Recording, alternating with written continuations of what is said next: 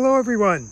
I'm out here on this outdoor weekend wearing this t-shirt which I used to wear in high school 50 years ago when it fit me a little better, it's a little looser. And the reason I'm wearing that is because I want you to see the similarity to this drawing which was done 47 years ago of someone in their gym clothes from my high school. And this drawing was in an edition of Mindscape, which was our high school literary magazine. I've saved it all these decades, along with every other edition of Mindscape, possibly because I was the editor.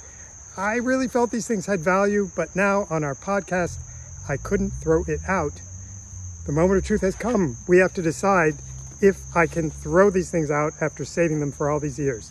Now, you may be thinking, you didn't pay attention to your own literary magazine. Why would you pay attention to ours? And here's one good reason.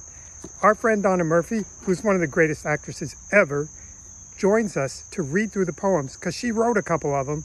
And we're going to see together how we felt about what was in those magazines. In fact, we had a huge surprise. So we hope you'll want to listen at any podcast service except Spotify or on our website, throwitoutpodcast.com. There is one other surprise, which is that this t-shirt, after all these years, doesn't stink. Anyway, thanks for listening. Really appreciate it. Bye.